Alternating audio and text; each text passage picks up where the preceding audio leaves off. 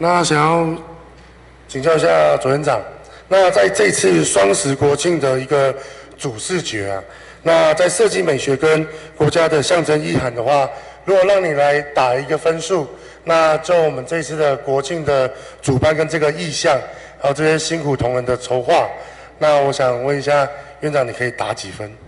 我常说这个艺术是非常主观的，像这种技术是非常不打折的。那艺术非常主观，你列出来是历年来双十国庆的各种的标志，我想大家可以自己看自己喜欢的。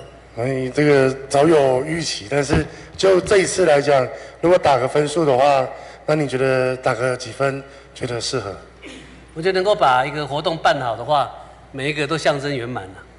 所以说，其实这个分数的话就不太方便直接打分数，就是。但是挂在挂在胸上，挂在心上。但是还是期许这次双十国庆一样圆满成功嘛。